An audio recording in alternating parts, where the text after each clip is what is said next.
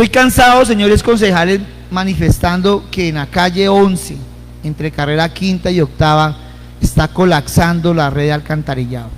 Hay un hueco que la señora Elibar fui abrió, lo he manifestado y va y le echa barro, ya ni barro le echa, lo dejo así. Los pozos de revisión se están hundiendo y ayer ocurrieron dos accidentes con dos motociclistas. Voy a presentar un video porque me están descargando los otros, son ya varios los que se han caído. El de ayer estuvo muy grave, el muchacho rodó casi al parque de las patinetas, pero aquí el consejo no dice nada, acá el consejo no, no, no que no, no se pronuncia, nos quedamos. Ese es uno de los videos, 8 y cuarto, creo que fue el otro fue Entonces, toda esa calle está colapsada. De pronto hay que ampliarlo, ahí se cayó el muchacho. Ese es el que menos, el otro voló hasta ahí en abajo, soltó la moto y no se mata.